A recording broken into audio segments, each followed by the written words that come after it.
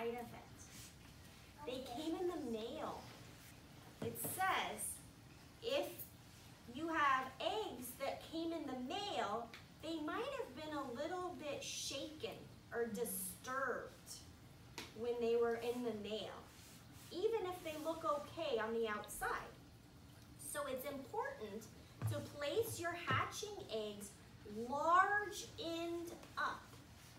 So think about that. We're gonna put the large end means the bigger side or the smaller side?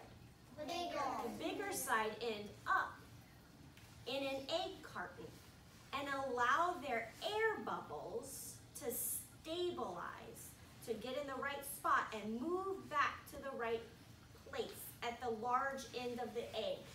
That makes me think about when we read this story. Remember when on this page, when we looked and it showed us inside of the egg, remember?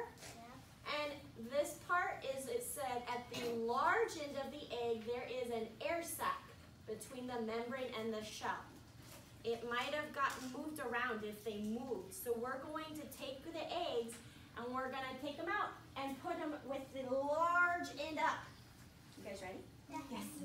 Remember how Mr. Davis said, uh, do all eggs look the same or do some look different? So when we unpack them, I want you to think about which eggs look the same and which eggs look different.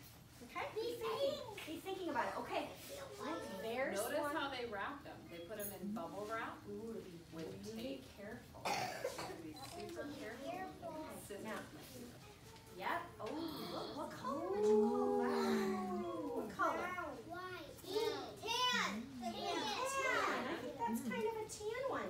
Now somebody wrote on them with a pencil so that we know what kind of egg it is. What did they write? It looks like AMF. Ooh, AMF. So that's, it says, is an Amera Flowers. Ooh. Mrs. Vigu, are you on this? Are you on it? I think she's gonna look up what, a, what an Amera flower chicken looks like, so we can think about what it might look like if it hatches and if it turns into an adult. Remember, not all not all of them might not hatch, but we'll see what an Amera flower looks like. M- Maybe, maybe not. So it's not. They have to have exactly what they they need to hatch.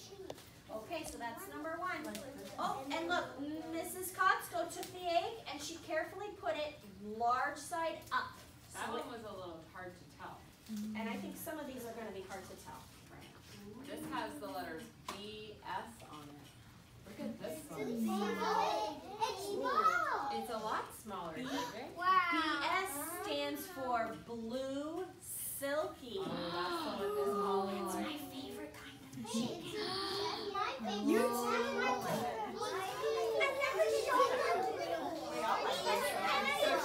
the blue Silkie that she just opened, that's what they Could grow into. could grow into. I can see. It does look blue on this side.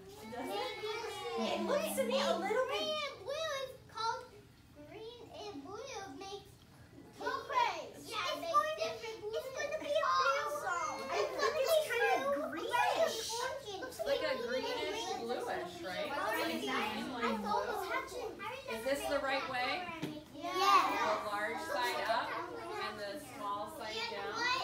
girls, This this, has a 3 O on it. the first egg, the Amara flowers looks like this.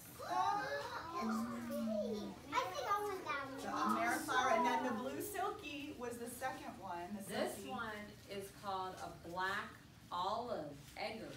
Black olive eggers. Yeah. What should I know. We had, we It's should a blue have, Silkie. they just, it's a blue. Oh, that Because is. we had three blue Silkie eggs, is what we're supposed to have. We can each have a blue We have Silkie. seven eggs.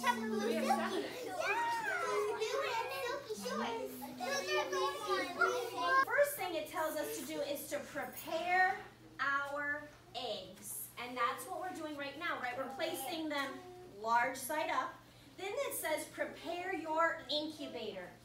It says during this time, set up your incubator, incubator and get it running at the correct temperature and humidity. Remember, the humidity means that we have to put some water into the incubator. We're going, oh, it's, do you hear it? Do you hear it? It's beeping. Okay, it's turning on.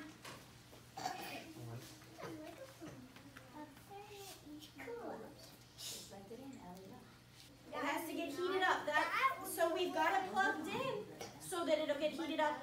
What do we, who remembers, what do we have to do to get the humidity? Do you remember, Mana? Water. Water adds the moisture or the like the little droplets of water in the air. So there's here's this little place right over here. So now the next thing we need to do, we want to make sure that our incubator is in the safest place possible. So I'm gonna hold, actually, Nicole, why don't you hold the eggs? Yeah. And then we're gonna move the table back so that it's out of the way.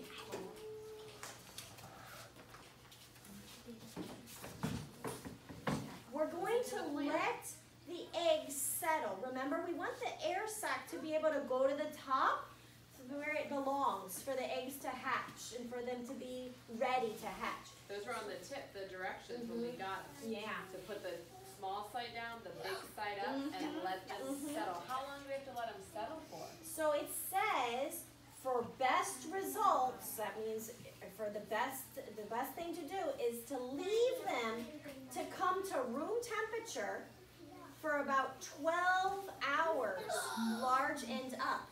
That's a pretty. That's a- Are we gonna stay here for 12 hours? You can So- let them I know. know it's So guess what?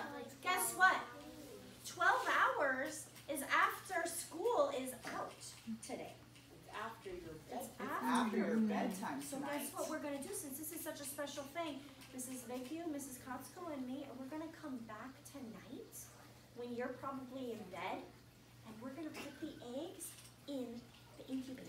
So we're gonna let them set, and then tomorrow, they'll be in the incubator.